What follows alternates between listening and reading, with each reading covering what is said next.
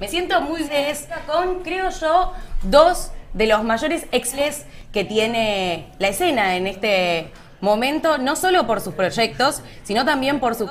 Bienvenidos. al Himalaya! Me imagino que habrán ido a votar. Sí, sí, sí. Antes de venir acá. Yo sí, antes, antes de comer voté y comí esta. Solo en bici. Solo en bici. No, yo fui con mi ano y mi padre. Rápido. Me tocó bastante, debo admitir.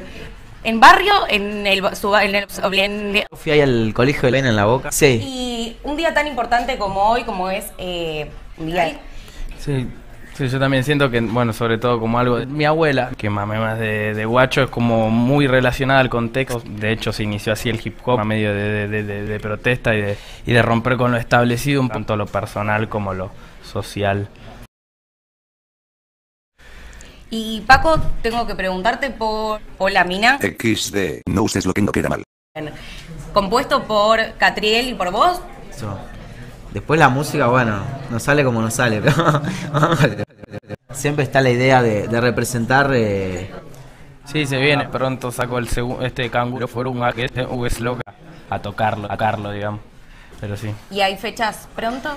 tenemos bastante Sí, bueno, un poco lo mismo. Todavía no están anunciadas, pero creo que de hecho mañana yo empiezo a anunciar algunas.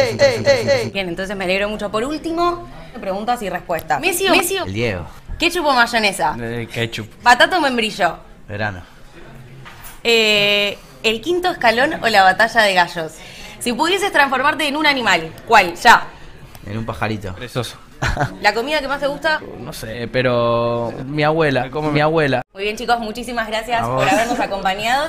Y nosotros seguimos acá en la cobertura PPP.